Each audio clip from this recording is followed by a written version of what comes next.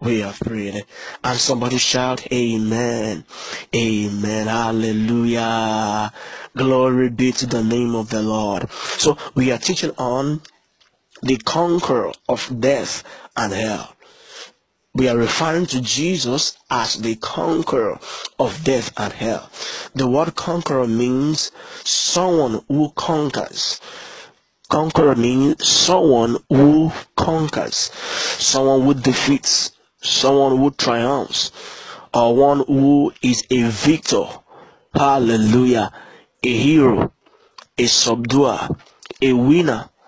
Glory be to the name of the Lord. So when you hear of the word conqueror, it's talking about the fact that Jesus is a person who defeated death, is the person who triumphed over death and hell. Jesus is the one who is who is victorious, who was and who is victorious over death, over hell. Glory be to the name of the Lord. So that is what conquering is. Someone who conquers, someone who defeats. Hallelujah. And death, that means the end of life, the state of being dead. Death means the end of life, the state of being death, and can also mean the power that destroys life. And hell, on the other side, means a spiritual realm of evil and suffering. Hell means a spiritual realm of evil and suffering, anguish and great sorrow, the abode of the devil and his cohorts. Again, I said hell is a spiritual realm of evil and suffering, anguish and great sorrow, the abode of the devil and his cohorts, his guys. Let's pick our text this morning from Revelation chapter 1 from verse 17. Revelation chapter 1 from verse 17. It's, it's going to be a great time together in God's word this morning. Revelation chapter 1 from verse 17 to 18. Revelation chapter 1 from verse 17 to 18. Please, I would like for us to get our Bibles, either your electronic Bible or your hard copy Bible. We have to look into God's word together. Yes, let's do that together this morning. Thank you. God bless you. So get your Bible, get your note, your writing pad, and let's let's do some reading, studying, and writing together this this church is church though it's online but it's church. Hallelujah. All right. Have you got your bible? Okay. Revelations 1 from verse 17 to 18 let's read together. It says and when i saw him the person talking is john. It says and when i saw him i fell at his feet as dead and he laid his right hand upon me, saying unto me, Fear not, I am the first and the last. I am he that liveth and was dead. And behold, I am alive forevermore. Amen. And have the keys of hell and of death. Glory be to the name of the Lord. He says, Fear not, I am the first and the last. Who is talking here? Jesus was talking to John on the on the island of, of Patmos and was saying to him, I am the first and the last. I am he that liveth and was dead. And behold, I am alive forevermore. Amen. And have the keys of hell and of death. So Jesus Christ was telling John that this is my state. This is who I am. This is my status now. He said, I am the first and the last. I am he that liveth, was dead, and behold, I am alive. So he was one time alive. He died, and behold, he is alive. He now said, forevermore. In other words, after resurrection, I'm not going to die anymore. I was I was alive before. Then I died, and behold, as you can see, I'm alive, and I'm alive forevermore. Amen. And now he now he now said something very significant. He said, And I have the keys of hell and of death. He said, I have the keys of hell and of death. The word key from the Greek word means keys. Keys. Meaning just like the number word, a key to a padlock or a key to a door, just literally. Or it can also be what? Figuratively. In other words, he has control. He has the mastery. He has triumph. He has victory over hell and death. He has control. He has authority. He has the mastery over death and hell. Glory be to the name of the Lord. So if you want to take it literal, if you want to take it literally, as saying he has the key, just your the key to your door. Yes, he does. He has a key that opens hell and death. Literally. And figuratively, it means he has control. He has authority. He has power over hell and death. Glory be to the name of the Lord. That that statement is can only be said by the Lord and Savior Jesus Christ. No man on the face of the earth who had lived before or who is living or who will live can ever utter such a statement to see I have the keys of hell and death. It's only Jesus, Jesus the Son of God, that can make such a bold, such an audacious statement that I have the keys of hell and death. In other words, he has the control, he has the mastery, he has the victory over death and hell. He has dominion over them. Why? He had defeated hell, he had defeated death, he had conquered, and that's why he is the conqueror of hell and death. Glory be to the name of the Lord Jesus Christ. That same place that we read in in in Revelations 1 17 to 18. Let me just read that place for us in Amplified. In Amplified. Let me read. It says, When I saw him, I fell at his feet as though dead, and he placed his right hand on me and said, Do not be afraid. I am the first and the last. Absolute deity, the Son of God. Verse 18. And the ever living one, living in and beyond all time and space. That is Amplified Translation. I died, but see, I am alive forevermore, and I have the keys of absolute control and victory over death and Hades, the realm of the dead. Glory be to God. Amplified just broke it down for us. It broke it down for us. Let me read again so that we can understand how Amplified actually translated as in scripture. Revelations 1 17 to 18.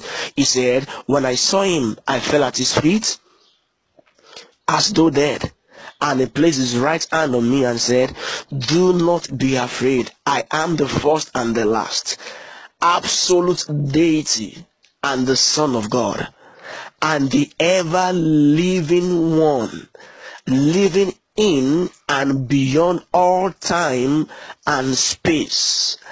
I died, but see, I am alive forevermore, and I have the keys of absolute control and victory over death and Hades, which is the realm of the dead. Can you see that amplified actually opened everything up for us to see. So Jesus Christ was talking to John here that I have absolute control.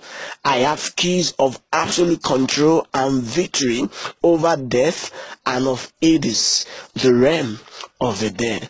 Glory be to the name of the Lord. Jesus did has absolute control over over hell and over death because the scripture made us to understand that this is Jesus Christ said. And isn't that a good news? That Jesus has absolute control over death and over hell. It was it, it, we have the scripture in First Corinthians chapter 15, First Corinthians chapter 15 from verse 54 to 57.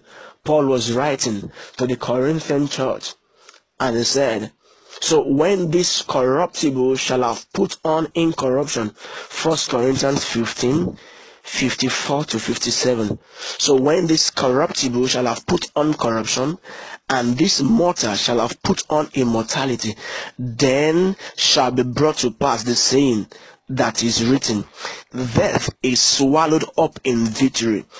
O death, where is thy sting? O grave, where is thy victory? The sting of death is sin, and the strength of sin is the law. But thanks be to God, which giveth us the victory in Christ Jesus. Glory be to the name of the Lord. Hallelujah. Oh, thanks be unto God who giveth us the victory through our Lord Jesus Christ. The scripture said, That is swallowed up in victory. He now said, Oh, death, where is your sting? In other words, oh, death, where is your power? Where is your ability? Oh, at Jesus' resurrection, death, where is your sting? Where is your power? For death was swallowed up in victory. Oh, grave, where is your victory? Glory be to the name of the Lord. Oh, Jesus took authority Jesus conquered death. He conquered hell. He conquered death. He conquered hell. The same thing he demonstrated. The same, uh, the same thing he demonstrated with Lazarus when Lazarus was dead. Was dead. Do you still remember the Lazarus? Lazarus in the Bible, John chapter 11. Lazarus, the friend of Jesus, the Bible said that Lazarus was dead for four days and Jesus Christ was summoned. And when he got there, Lazarus was already dead and he was already stinking. And the Bible said Jesus Christ raised Lazarus back to life. So imagine if Jesus had raised Lazarus from the dead, will it not be him that will now be dead that won't be able to resurrect and raise himself from the dead. Hallelujah. Let's see John 11, verse 23 to 26. John 11, the story of Lazarus. I just read briefly to us. John 11, 23 to 26. The scripture says, Jesus said unto her, Thy brother shall rise again. Martha said unto him, John 11, 23 to 26. Martha said unto him, I know that he shall rise again in the resurrection at the last day. Jesus said unto her, I am the resurrection and the life. What a statement. I am the resurrection and the life. He that believeth in me, though he were dead, yet shall he live. And whosoever liveth and believeth in me shall never die. Believest thou this? Do you believe this word? Jesus Christ said, I am the resurrection and the life. He that believeth in me, though he were dead, yet shall he live. And whosoever liveth and believeth in me shall never die. Oh, hallelujah. He said, I am the resurrection and the life. So as I was saying the other time, that if Jesus could have raised Lazarus from the dead, how much more him, the resurrection and the life, won't he be able to raise himself? from the dead. Lazarus was dead four days. In fact, the scripture recorded that he was already stinking. Hallelujah. Let's read verse 39 or that same chapter, verse 39. And Jesus said, Take you away the stone. Martha, sister of him that was dead, said unto him, Lord, by this time he stinketh, for he had been dead four days.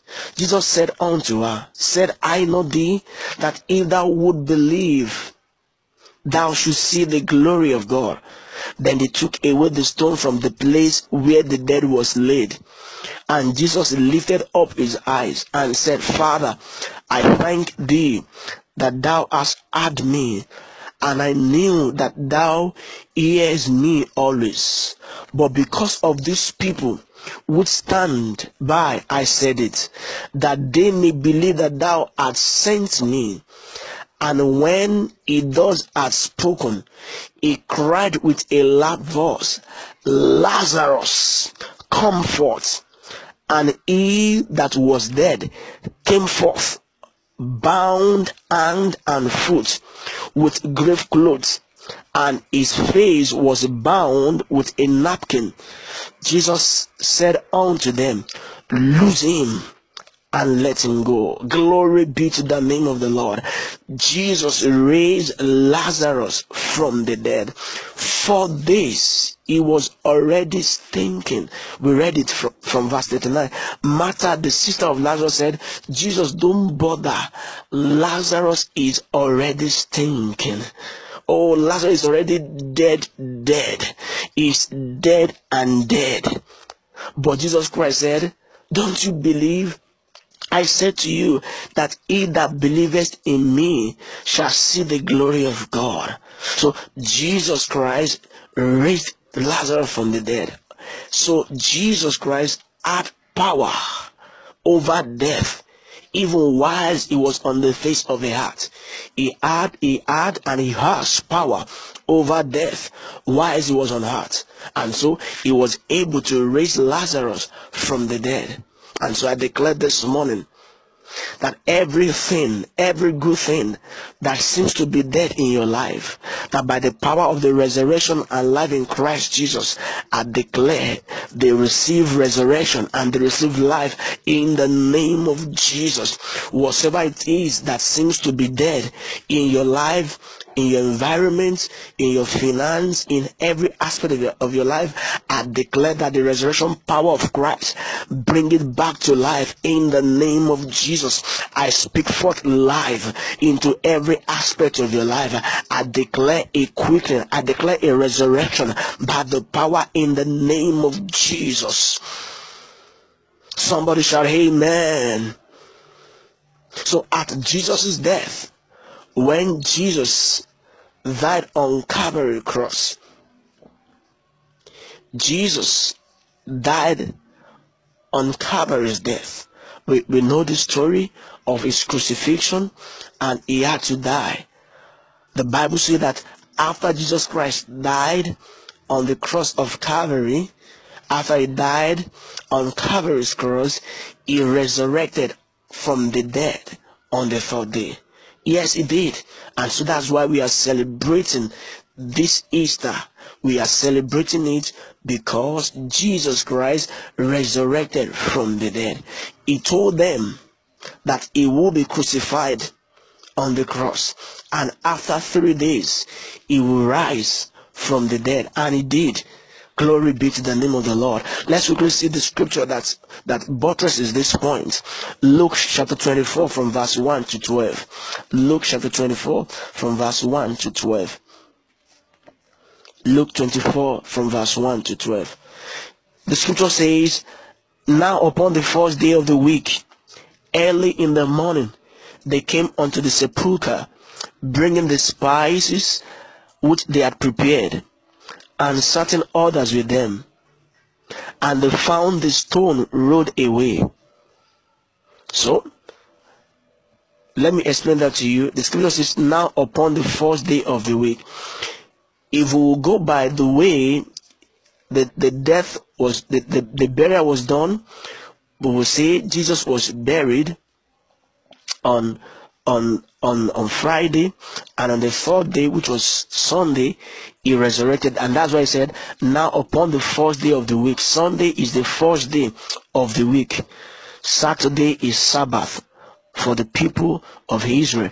And so he said, "Now upon the first day of the week, very early in the morning." Just like Sunday morning like this, they came onto the sepulchre. The word sepulchre means the, the burial ground, the grave, bringing the spice which they have prepared and certain others with them. So their intention was to go there and to clean up the body of Jesus Christ. They buried him uh, using our, our own context now. They buried him on Friday and Saturday they couldn't go to the burial ground because on Sabbath the the Israelites are not permitted to do anything. So they couldn't come around to clean or to check the body of Jesus Christ and to you know to do some uh, to do some cleaning around his body and all that. So they they had to wait till the first day of the week, which was or which is Sunday. So and the Bible says, and as they found, and they found the stone rolled away. So the stone that was placed before the grave. So the way the the the Israelite, the way they prepare their own grave is that there will be it will be like a, a, a room, so to speak. In that room, it will have the the the, the, the burial spot where where the let's say let's say it's going to be if we are going to use a coffin where the coffin will be will be placed. And that room so to speak we have a stone put at the entrance. So if anyone to access the the body it will first have to uh, come through the door. In their own case is a stone that is placed at the at, at the entrance. So you come in through the the entrance. When you come through the entrance the stone will have to be taken a, t- taken away and when you gain access into that room so to speak then you see where the the body has been buried inside the grave do, do you have an understanding of that now? So that's what he's saying. And they entered. So they entered and found the body. So the first thing, and they found the stone rolled away. So at the entrance of that of that grave room, so to speak, the stone has been taken away. And they entered in and they found not the body of Jesus. And it came to pass as they were much perplexed thereabout behold, two men stood by them in shining garments. Of course, these are the angels, and they were afraid, and they bowed down their faces to the earth. And they said unto them, Why seek you the living among the dead? Can you hear that? See what the angels told those people that came to, to look for the body of Jesus Christ. They said, Why seek you the living among the dead. He is not here, but is risen. Hallelujah. The Bible says the angel said, He is not here, He is no more here, He is no more in the grave, He is risen he now said, Remember how he spoke unto you when he was still yet in Galilee, when he was still alive, saying, The Son of Man must be delivered into the hands of the sinful men and be crucified, and on the third day again, and and be crucified, and on the third day rise again. And they remembered his word. So the angels reminded them, and they remember his word, and returned from the sepulchre, that is from the grave, and told all these things unto the eleven, that is the apostle, and to the rest. It was Mary Magdalene and Johanna and Mary the mother of James and other women that were with them, which told these things unto the apostle. And their word seems to them as idle tales, and they believed them not. Imagine. Then arose Peter and ran unto the unto the sepulchre, and stooping down, he beheld the linen cloth laid by themselves, and departed, wondering in himself at that which has come to pass. So, Mary and other women, they were told by the angels that Jesus is not here. The question was this why seek you the living among the dead? Which means Jesus is living now. It can't be found among the dead. He is not here is risen. And so all of them they went to go and meet the apostles and they told them, but these apostles could not even believe. Imagine Jesus Christ had already told them while he was on earth that he will be crucified by by this by these sinful people and he will die and on the third day he will resurrect.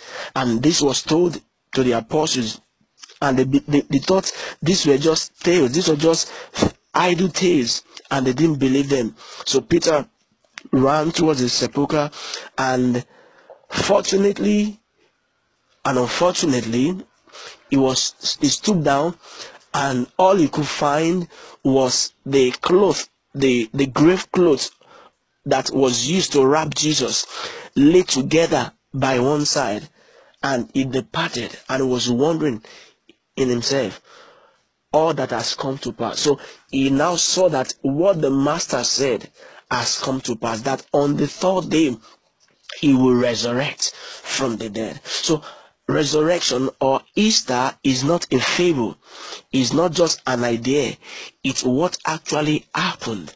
Our Lord Jesus resurrected from the dead. Somebody shout hallelujah. He was crucified and on the third day he resurrected from the dead. Glory be to the name of the Lord. Hallelujah. The same the same story we have it in, in Matthew's account and in this one the Bible makes us understand that the, the, the this record, the resurrection of Jesus Christ from the dead was greeted with an earthquake. It was an earthquake that brought about. So when Jesus Christ was resurrected from the dead, there was an earthquake. The earth shook and the grave was open. Glory be to the name of the Lord. Let's see Matthew chapter 28. Matthew chapter 28 from verse 1 to 8. Matthew 28. So it wasn't something that was done quietly. It was, it was, it, it, it was greeted with an earthquake. So the earthquake was something that shook the ground and Jesus Christ came out of the grave. Matthew 28, 1 to 8.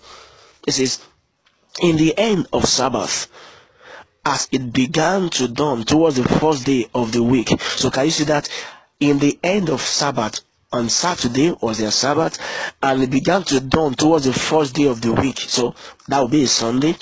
Mary came, Mary the Magdalene came and ordered Mary to see the sepulchre. And behold, there was a great earthquake. Can you see that in your Bible? There was a great earthquake. For the angels, why? Why? Where was an earthquake? He said, For the angels of the Lord descended from heaven. Can you see that? He said, The angels of the Lord descended from heaven and came and rolled back the stone from the door and sat upon it. His countenance was like lightning, and his raiment white as snow. And for fear of him, the keepers, that is the keeper of the graveyard, they did shake and became as dead men. And the angels answered and said unto the women, Fear not, for I know that you seek Jesus, which was crucified. He is not here, for he is risen, as he said. Come, see the place where the Lord lay, and go quickly and tell his disciple that he is risen from the dead. And behold, he goeth forth before you into Galilee. There shall you come and see him. Lo, I have told you. And they departed quickly from the sepulchre with fear and great joy, and did run to bring his disciple the word. Hallelujah. So this is another account of Matthew. The, the first one we read was was Luke account. This is Matthew's account. So the Bible said that the, the resurrection of Jesus Christ from the dead was greeted with an earthquake. So there was a great earthquake. Why? Because the angel of the Lord descended from heaven to roll away the stone. Now, that, that stone that was placed before the, the sepulchre or before the grave of Jesus was a mighty stone. And they, they actually ensured that that place was secured. I mean, the, the, the, the, the the the people of the land all all the people that orchestrated the crucifixion of Jesus because they've heard that Jesus Christ has said that on the third day he's going to resurrect. So because they just thought that maybe he was just blabbing and they said this man actually said he resurrect. So they they asked for permission from from from from the from from from the from the heard and they, they told them that please give us permission to ensure that the grave is seed and we put some officers there to ensure that this grave is protected lest some of his his guys will come and take his body away and they will say he has resurrected. Let, let's see that same scripture. You, you you will see that now. Hallelujah. Matthew 27 from verse 59 to 66 it says and when john joseph has taken the body he wrapped it in a clean linen cloth and laid it in his own neat tomb which he had hewn out of the rock and he rolled a great stone to the top door of the sepulchre and departed. And there was Mary Magdalene and other Mary sitting over against the stone. Now the next day that followed, the day of the preparation, the chief priests and Pharisees came together unto Pilate, saying, Sir, we remember that this deceiver said while he was yet alive. So while was, so it means that he actually died. That after three days I will rise again. Command therefore that the sepulchre be made sure, that is, be protected until the third day, lest his disciple come by night and steal him away, and say unto the people, He is risen from the dead. So the last error shall be worse than the first. Pilate said unto them, You have a watch, go your way, make it as secured make it as sure as you can. So they went and they made the sepulchre sure. In other words, secured, sealing the stone and setting a watch. Can you imagine? So those guys, those uh, Pharisees, those high priests, because they were thinking that all the things that Jesus Christ was saying was just, you know, fables. They said so that his disciple not come and steal him. They, they, they asked the Pilate and he gave them permission. The Bible said they put a stone and they sealed that stone. In other words, when the stone was put there, it, will be literally said like like they put a cement around it so that you can't just say you want to roll it away. It will be difficult because it was sealed. And they now put a wash. In other words they put some people there to watch over it. Hallelujah. But the bible said that the angels of the lord descended from heaven and with an earthquake the stone was rolled away and jesus christ was raised from the dead. Glory be to the name of the Lord. Glory be to the name of the Lord. Death could not hold him down. Oh, the grave could not hold him down. Jesus resurrected on the third day. Glory be to the name of the Lord. Hallelujah. So, so when Jesus Christ died, he, he died, and when he died, he was separated from God. So I just want to give us some reasons or some instances behind this. So when Jesus Christ died, he died and he was emptied of God, he was separated from God. That's why the Bible said when Jesus Christ was dying on the cross that Jesus Christ cried, Eli, Eli, lama sabachthani. In other words, means, my God, my God, why hast thou forsaken me? So when Jesus Christ died on Calvary's cross, he was separated from God. Why was he separated from God? Because on that Calvary's cross, Jesus Christ became sin.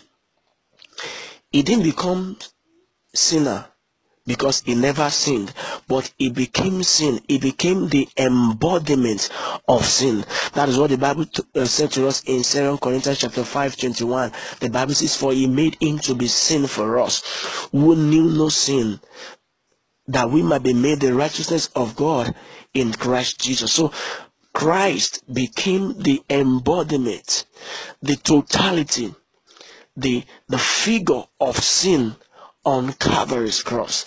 And by so doing, God could not behold him. So God was separated or better still jesus was separated from god because he became sin for you and i on calvary's cross and because of that and because of that the separation from him was from God, better still, was imminent because God could not behold sin. God had to be separated from Jesus. That was the first time ever that Jesus would be separated from God. And this came to be because Jesus had to take on sin for you and for me. He had to take on sin so that by him becoming sin, he can die for our sin on Calvary's cross.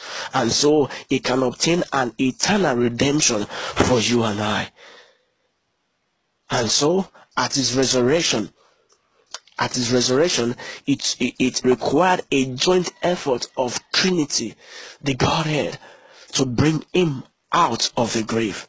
So Jesus, the Son of God, was to be raised by the synergy of God the Father and God the Spirit. How do we know this? Let's quickly see Colossians chapter 2 from verse 11 to 12. So at Jesus' resurrection, it took a joint effort, the synergy of God the Father and God the Holy Spirit to bring about the resurrection of Jesus Christ from the dead. Colossians 2 from verse 11 to 12. Colossians 2 from verse 11 to, to 12. So we see God the Father at work. The Bible says, in whom also you have you are circumcised with the circumcision made with hand made with that hand so, sorry to say, let me come again.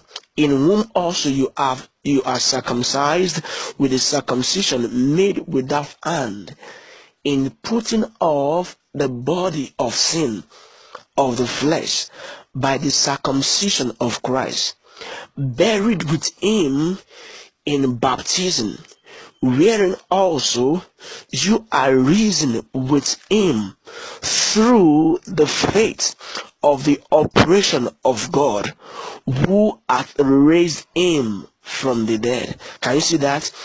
It took the operation of God upon Jesus to raise him from the dead. So, so to speak, God had to perform an operation a faith operation on Jesus to raise him from the dead. So we can see God at work here. God the Father performed an operation, a faith operation on Jesus, and he raised him from the dead. Can you see that now? So you can see God the Father at work. So God was the one that performed that operation over him, or the greatest surgeon that ever lived. So, but this one is even more than a surgery because Jesus was dead, dead. So, God had to perform a faith operation upon Jesus for him to be raised from the dead.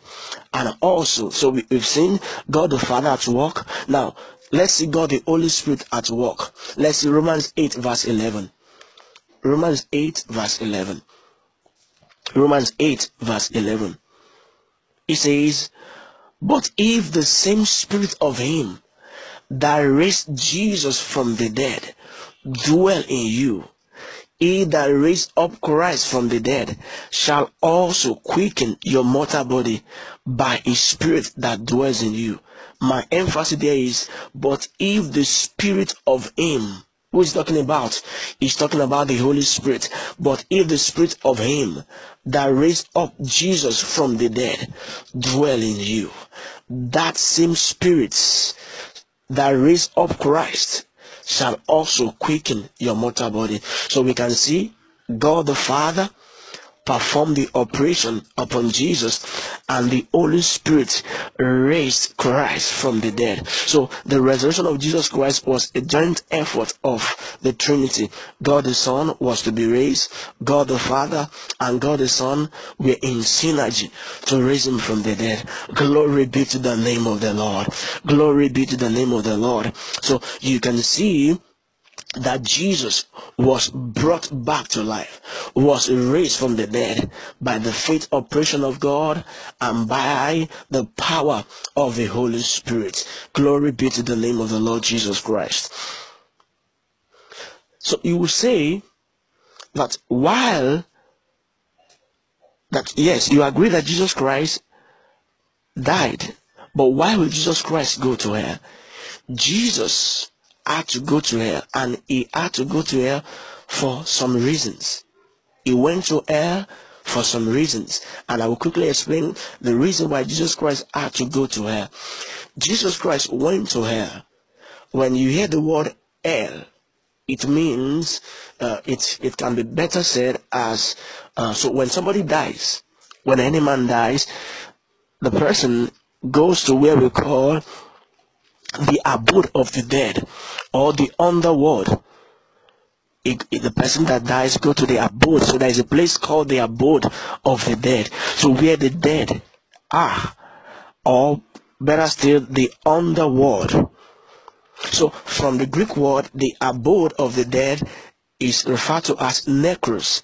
It means the necros from the Greek word, which means the place of the dead, the state of death, or the dead. So when you, so when the scripture says in Romans 8:11, if the same spirit of him that raised Christ from the dead if the same spirit of him that raised Christ from the dead.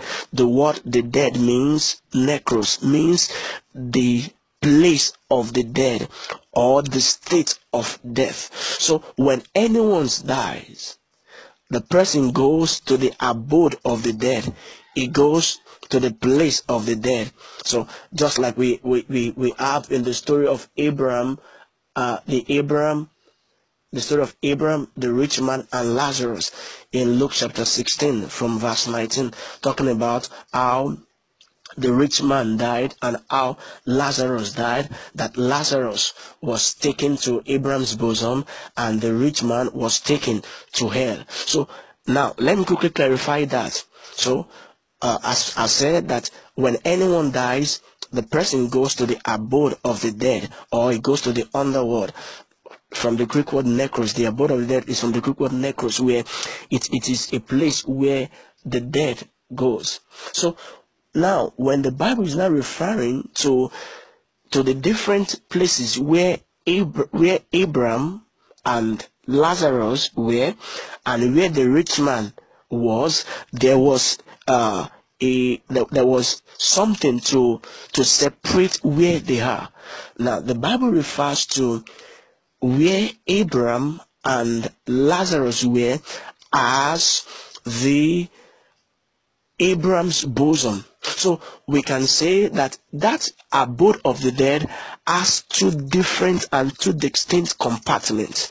One is Abraham's bosom, which is otherwise called paradise, and the other apartment is what hell.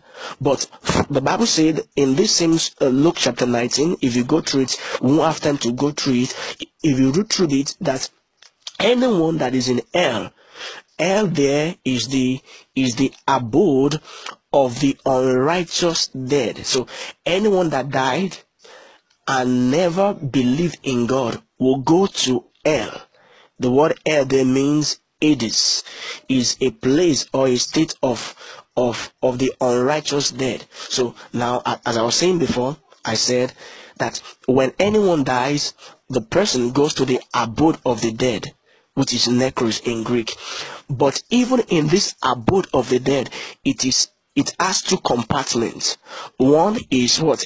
Abraham's bosom, otherwise called paradise, and the other compartment is what? Is hell, which is in the Greek means Hades, which means the temporary abode of the unrighteous dead. So anyone that died that doesn't uh, believe in God and doesn't accept Jesus Christ as his Lord and Savior will be in this place, in this temporary abode. So this is where all the unrighteous dead are.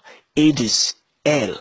But anyone who believes in God will be in Abraham's bosom, which is otherwise called paradise. So the, the, the likes of David, Joshua, Moses, you know, Caleb, and so on, Noah, and so on, will be we were in Abraham's bosom. All of these still in the abode of the dead. But in this abode of the dead, we have Abraham's bosom, and we have what? El, otherwise called what? Hades. So, so one is for the the righteous dead, those who believe in God, and the other which is hell is for what? The unrighteous dead. So you can see two two different places. So please, when you read through Luke 16, from verse 19 you'll be able to see all that so and you'll be able to really have a better understanding of what i'm talking about so when jesus so when jesus christ went to hell so he went to this abode of the dead. The right word will have been used is what? He went to necros to the underworld. And he went there. You say why would jesus have to go there? Yes jesus had to go there because he had been made sin. What takes anyone to hell is because what they are sinners and because they didn't accept Jesus, they didn't believe in God. So Jesus now being made dead on being made sin on Calvary's cross and he died as an embodiment of sin, we have to go to hell which is the temporary abode of the what unrighteous dead. So Jesus was taken to hell. Why? Because now he had become sin, an embodiment of sin, and the devil and his guys has the right to take anyone who does not believe in God or who does not accept Jesus Christ in this in this time now they they have right to take such person to hell which we call Hades the temporary abode of an unrighteous dead so jesus had to go there so he was taken to hell. Now that's why the reason why we know that Jesus Christ went to hell is because the Bible said it in, in Acts chapter 2 from verse 24 to 27. Acts chapter 2, 24 to 27. The Bible says, whom God had raised up having loosed the pain of death, because it was not possible that it should be holding of it. For David speaketh concerning him. I'm reading Acts 2.24. For David speaketh concerning him, I foresaw the Lord always before my face, for he is on my right hand, that I should not be moved. Therefore did my heart rejoice, and my tongue was glad. Moreover, also my flesh shall rest in hope, because thou wilt not leave my soul in hell, neither wilt thou suffer thy Holy One to see corruption. Now, this scripture that we read was was Peter retreating what uh, uh, David said in the book of Psalm, David was writing prophetically about Jesus, and Peter here was quoting what David said in Psalms. If you want to go, get get that reference, Psalms mm, 16 from verse 9 to 10. He said, Therefore my heart is glad, and my glory rejoiceth. My flesh also shall rest in hope. For thou wilt not leave my soul in hell, neither will I suffer thy holy one to see corruption who was David talking about here? David was prophetically talking about Jesus, that is saying that thou will not forsake, that will not leave my soul in hell. In other words, David was seeing ahead of time that Jesus Christ went to hell and Jesus will not be left in hell. Neither will God allow his Holy One to see corruption. In other words, Jesus will not be left in hell and Jesus will not suffer corruption in the air, in grave. Hallelujah. So this buttresses the fact that Jesus Christ went to hell. And so he went to hell for this reason. So we say, okay, so why why did he go to hell? Now, he went to hell. The reason why he could go to hell is because on the cross, as I said earlier on, number one, the first reason is because he must go to hell. He must. Why? Because now he he had become sin, an embodiment of sin on Calvary's cross. And since he died as an embodiment of sin, hell, devil and his fallen angels has right over his body, over everything about him, and that's why they had to take him to hell. Now Jesus became a prisoner in hell. He became a prisoner in hell. Romans 6:23 says, "For the wages of sin is death, but the free gift of God is eternal life through Jesus Christ our Lord." So anyone that sins will die. So Jesus Christ died not as a sinner, but he died as an embodiment of sin. Second Corinthians 5:21 said, For he made him to be sin for us, who knew no sin, that we might be made the righteousness of God by Christ Jesus. For he made him who knew no sin to become sin. Jesus never knew sin. Jesus never tasted sin. But God made him to be sin for us. And that is why it was possible for him to go to hell. That is why it was possible for for demons of hell to drive him down to hell. If not, they wouldn't have been able. So that's why he had to go to hell. So I put I said first, he must go to hell. He must because he had become sin.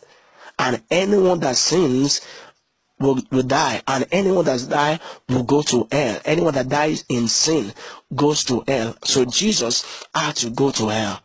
And he had to do this because he had to go to hell also because of um, other things. The Bible says that Jesus going to hell was crucial because if he didn't go to hell, he won't have the opportunity of destroying the devil. We'll get there now. But let me just quickly go. So we understand that he must go to hell because now he had become a prisoner. He had become sin. So by him becoming sin, it was possible for hell to lay hold on him and drag him down to hell. Not just not just Abraham's bosom now. Hell as a temporary abode of the unrighteous dead. So he was taken there as captive. He was taken there as a prisoner. And he had to go. He must go there. And secondly, he had to go there and by going there he accomplished some things for us so the first one is that he must go there because he had become sin secondly he had to go there now by necessity it is necessary for him to go there because by him going there he's going there to accomplish some tasks for us the first of that task is that he went there as our substitution, or better still, he went there as a substitute for us.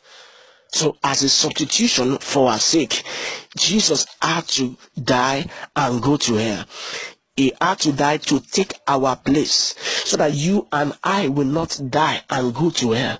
Jesus had to die as our substitute. Somebody shout hallelujah. He had to die as our substitute. Titus chapter 2 verse 14. Titus chapter 2 verse 14 said, who gave himself for us.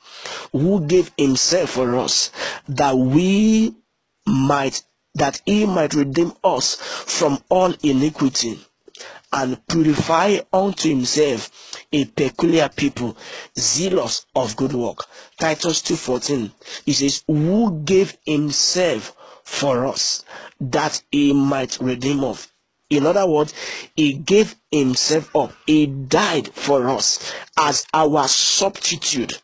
If Jesus didn't die for us, he won't be able to redeem us.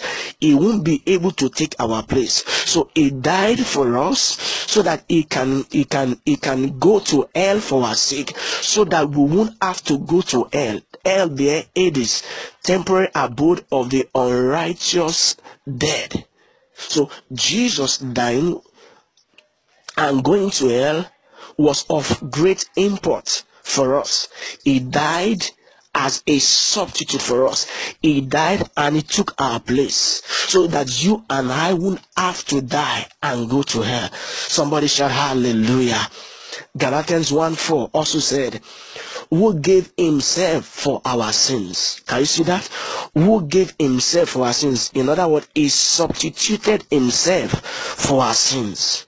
That he might deliver us from this present evil world according to the will of God our Father. So it was God's will that Jesus will be substituted for you and I, so that in being our substitute for sin, he will also, by the same virtue, go to hell.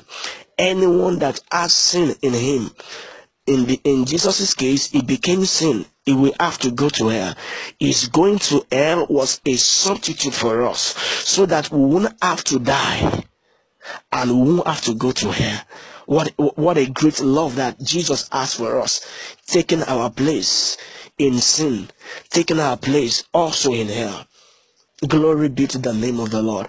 Romans 5 8 says, For God commended his love towards us. Romans 5 verse 8. But God commended his love towards us in that while we were yet sinners, Christ died for us. God commended his love. So all this was on the basis of love. But God commended his love for us in that while we were yet sinners, Christ died for us. He, while we were yet sinners, Christ died for us. He became our substitute.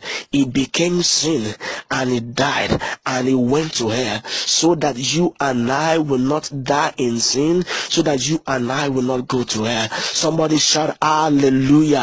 Somebody shout hallelujah. So he did this on the basis of love. He did this according to the will of God our Father. Glory be to the name of the Lord.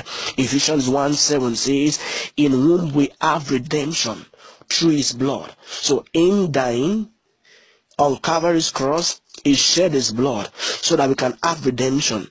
And so by him going to hell and resurrecting, we can have forgiveness of sin according to the riches of his grace. Glory be to the name of the Lord. So we can see the first the, the first importance of him going to hell. He went there as our substitute. Secondly, under under under the the importance of going to hell. So I said the first one, why Jesus had to go to hell. Number one, he must go to hell because he became sin. Two, he had to go to hell as a matter of what importance to accomplish some task, four tasks.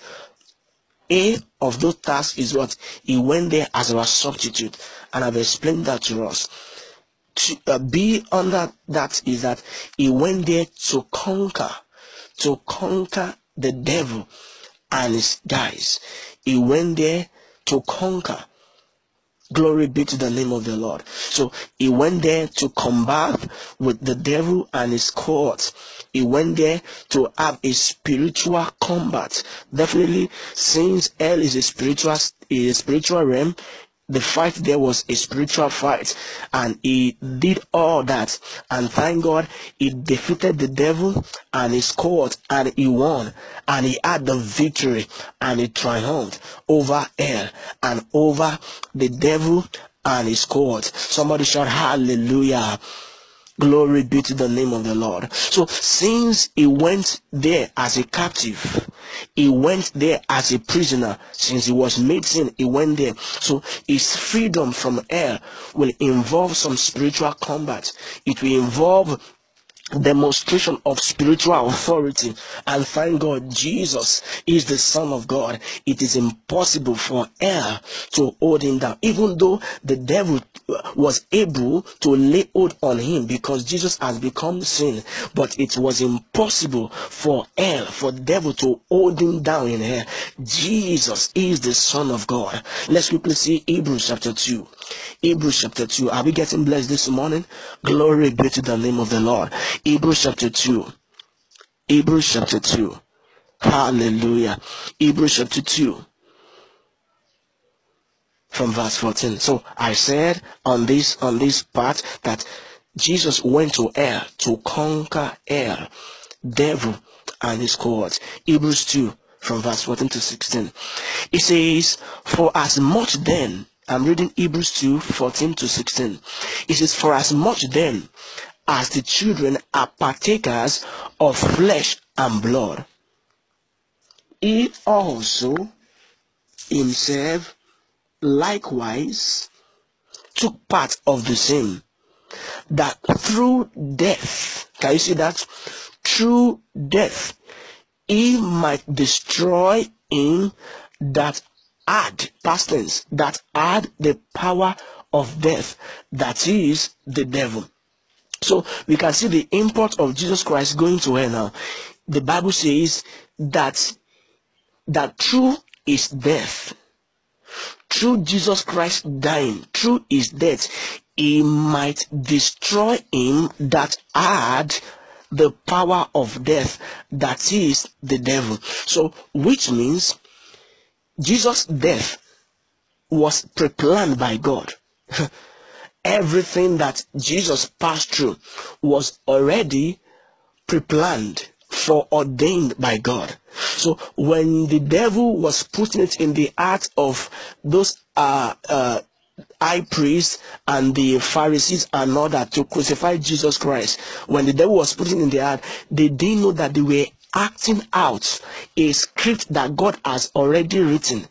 God had written that script even before the foundation of the world that Jesus will have to come as man to the world. Jesus will be beaten and crucified on Cal- Calvary's cross and he will have to die. All of those things were preordained by God. All of those things were scripts that God has written concerning Jesus Christ, and Jesus will have to carry out all of those things as part of his assignments on the face of the earth sent by God. So now, the Bible now says that through death he might destroy him that had the power of death. What that means is that Jesus' death on Calvary's cross gave him the access to go to hell. And in going to hell, he can destroy, he can conquer, he can paralyze the one that had past tense, the one that had the power of death, that is the devil. Hallelujah. Can you see that now? So it was important that Jesus Christ had to die and Jesus will have to go to hell so that he can destroy, he can have a combat with the devil and the hell and he can destroy him and take authority from him. And the continuation of that scripture now says, Hebrew 2.14, and deliver them who through fear of death were all their lifetime subject to bondage. So he did that, so the Bible says, through death, he might destroy him that had the power of death. That is the devil. And also to deliver them who through fear of death were all their lifetime subject to bondage. So Jesus Christ went there to conquer death and to give us redemption and deliverance over death. Glory be to the name of the Lord. Glory be to the name of the Lord. Hallelujah, hallelujah, hallelujah, hallelujah. So Jesus Christ died.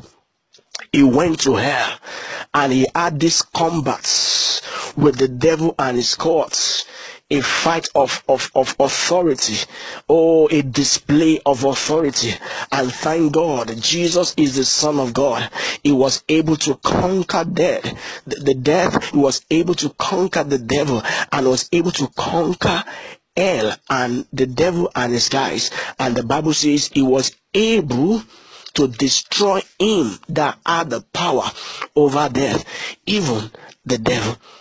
Let's see also another scripture that buttresses that, that same thing that we just talked about. Colossians 2 verse 13. Colossians 2 from verse 13. Hallelujah. Colossians 2 verse 13. How we getting blessed this morning? Glory be to the name of the Lord. Colossians 2 verse 13 to 15. It says, and you, being dead in your sins and the uncircumcision of your flesh, hath he quickened together with him, having forgiven you all trespasses, blotting out the handwriting of ordinances that was against us, which was contrary to us, and took it and took it out of the way, nailing it to the cross. Can you see what he did by dying on the cross? He now said, having spoiled principalities and power, he made a show of them openly, triumphing over them in heat. Glory be to the name of the Lord. He said, having spoiled principalities and power. He made a show of them openly, triumphing over them in heat. So the, another another another translation said, having disarmed he said, having disarmed principalities and power, having conquered, having destroyed principalities and power. So Jesus Christ going to hell was also for a conquest. He went there for a battle. He went there to defeat so that's what the scripture says. Having spoiled principalities and power. When did this one happen? When it was in hell. Having spoiled, having disarmed, having paralyzed principalities and power in hell.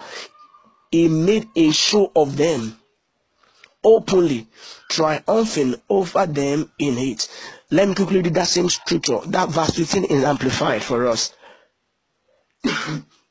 excuse me, he said, when he had disarmed the rulers, I'm reading from Amplified now, verse 15, Colossians 2.15. He said, when he had disarmed, in other words, he has taken, he had collected from them everything that they are using as their, their ammunition.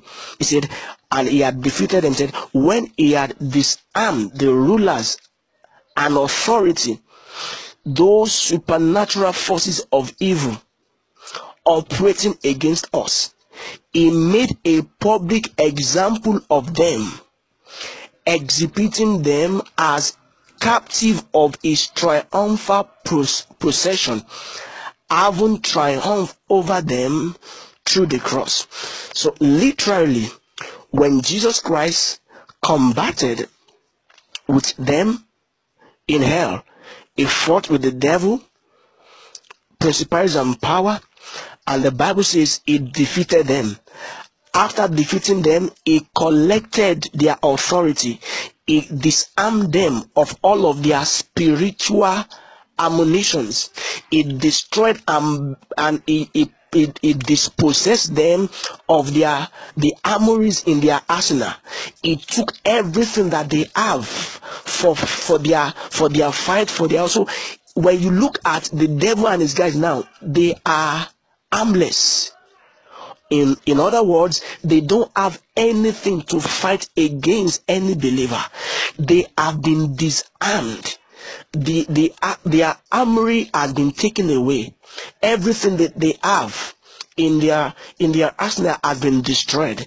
Their, their their their weapon of war has been taken away from them by Jesus. Glory be to the name of the Lord. He said, when he had disarmed them, the rulers and authority, those supernatural forces of evil operating against us. He now said, having collected all of their power, all of their weapons, all of their all of their armory. The Bible now said, Jesus Christ made a public example of them.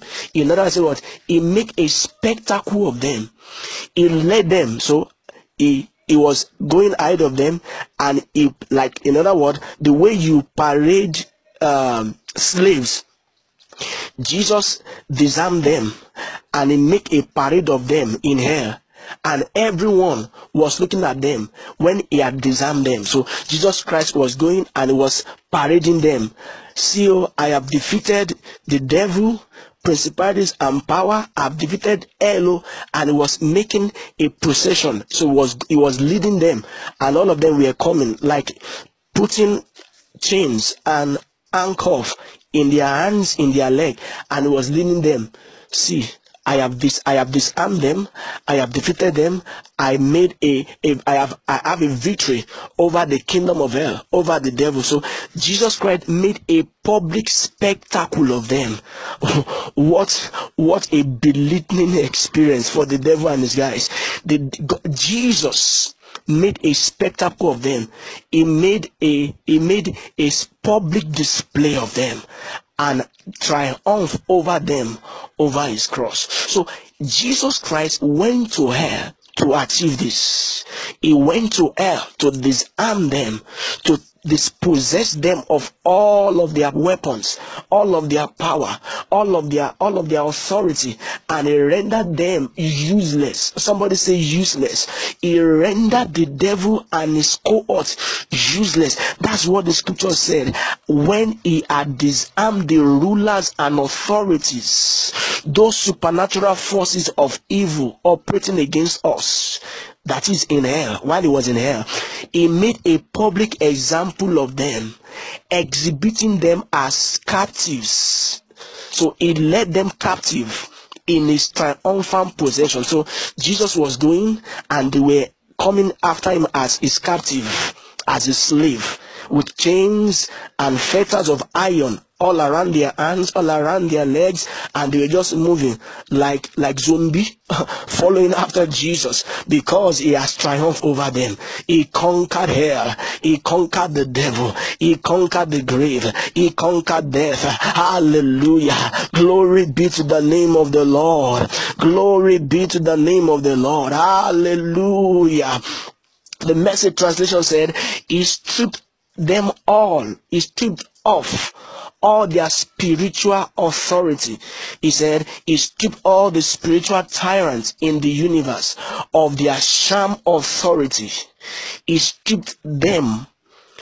He stripped all the spiritual tyrants in the universe of their sham authority at the cross and marched them naked through the street. that is message translation. Let me read again. Message I just said, He stripped all the spiritual ty- tyrants in the universe of their charm authority at the cross and marched them naked through the streets.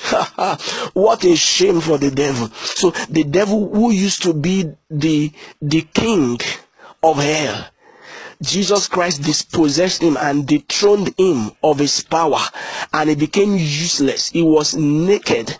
He was made naked, and Jesus led him as slave and as a captive of his triumphant possession. Glory be to the name of the Lord. So, as that was happening, when you read in Luke chapter 16, about the story of Abraham, uh, Abraham, the rich man, and Lazarus. The Bible said in that story, please, I would like for us to go through it. It talks about the fact that that abode of the dead, which I called necros, which is the abode of the dead, which I said is compartmentalized into two Abraham's bosom and El or Hades, Abraham's bosom, which is other word called paradise. The Bible says is in this is in the same uh, place, but there is a big gulf between the two, a big separation between the two. But the Bible makes us understand that why is Abraham was Abraham and, and Lazarus were in the Abraham's bosom that uh, the rich man can see them from El, from Hades. When you go through it, you will see. So, which means when Jesus Christ was doing all that, those who were also in Abraham's bosom could also see the victory of Jesus at his conquest they could see. So those who are in hell and those who are in paradise in Abraham's bosom could see.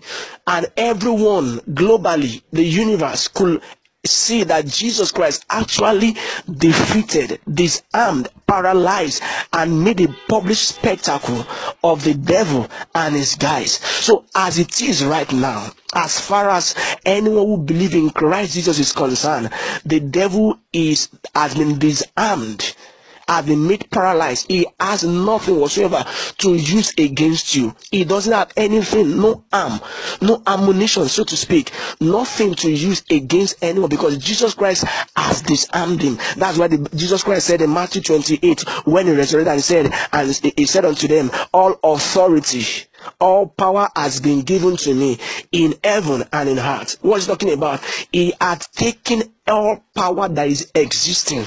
He had dispossessed the devil of all his power, all his authority. Oh, glory be to the name of the Lord. So the devil is just roaming about as a toothless dog. He doesn't have anything no ammunition, no power, no authority. All authority belongs to Jesus. Glory be to the name of the Lord. Glory be to the name of the Lord. Hallelujah. Oh, time will not permit me to continue eh, eh, in, on, on the other two points that I want to share and, and to wrap everything up. But I, let me just stop it. Maybe on Wednesday we'll continue this teaching. But from what we've been able to share this morning, it's clear that Jesus, Jesus' death was crucial. His going to hell was important and everything that he did for us was vital for our redemption for our salvation, for our victory, and for our enthronement on the face of the earth. Glory be to the name of the Lord. Hallelujah. Oh, I feel like shouting. Somebody shout hallelujah. Hallelujah. Hallelujah. Hallelujah. Glory, glory, glory, glory, glory, glory, glory. Glory, glory, glory, glory be to the name of the Lord. Philippians 2 verse 9 talks about from verse 9 down was talking about that that at the name of jesus every knee shall bow in heaven on earth and underneath the heart so the word underneath the heart talks about the the underworld. Talking about necros now the, the the, the temporary abode of the dead which comprises of abraham's bosom and and and and abraham's bosom and hades hell so to speak. But now currently now, when Jesus Christ resurrected from the dead, Abraham's bosom, which is paradise, has been relocated from from from from the under from underneath the earth into heaven. We continue on that place. I will expatiate more on that when we talk. But just know that now Abraham's bosom or paradise is no longer underneath the earth because when Jesus Christ defeated the devil and his guys, he also led all these people who have been waiting in Abraham's bosom. He took them with him into the heavens. Hallelujah. I will explain that to us very, uh, very, very clearly on Wednesday. Glory be to the name of the Lord. But the Bible says that at the name of Jesus, every knee shall bow in heaven, on earth, and underneath the heart. So even hell, when they hear Jesus' name, it rings bell. Ah, that Jesus that came to destroy and defeat us and collected every of our ammunition, every of our authority. Ah, guys, bow. So when you when you make mention of the name of Jesus before any demon, before any devil, before anything that is contrary to the plans of God, they must bow. They have to bow. They have to bow. It is a name that is known both in heaven, on earth, and in the earth. Glory be to the name of the Lord. So Jesus did all this for our sake. And that's why the teaching of this morning is Jesus, the conqueror of hell and death. The conqueror of hell and death. So when defeated the devil, when defeated the hell, he also resurrected on the third day. And so everything was balanced. He defeated hell, he defeated the devil and his and his and his guys, and he also defeated death. Death, that spirit that that brings someone into into in, in, into separation from God. Hallelujah. So it destroyed death, it destroyed hell, it defeated death, it defeated death, and it defeated the devil. Glory be to the name of the Lord. And that's why we are celebrating Easter. We are celebrating the resurrection of Jesus from the dead. From the scripture we read, we read about the fact that on the third day, when Mary and those women went to check Jesus, the Bible says the angel told them, Why seek you the living among the dead? Jesus Christ is alive. He cannot be sought for among the dead. He said, Behold, he is risen. Somebody shout, He is risen. Oh, Jesus is risen. Glory be to the name of the Lord. He is risen. Shout hallelujah. He has resurrected. He is resurrected from the dead. Glory be to the name of the Lord. Somebody shout hallelujah. He is the conqueror of death and of hell. And so is alive today. He defeated the devil he made a public spectacle of him, he paralyzed him, and he made a public display of him. And on the third day, he rose from the dead. He rose from the dead. That song says, For the dead, for death could not hold him captive, even in the grave, even in hell,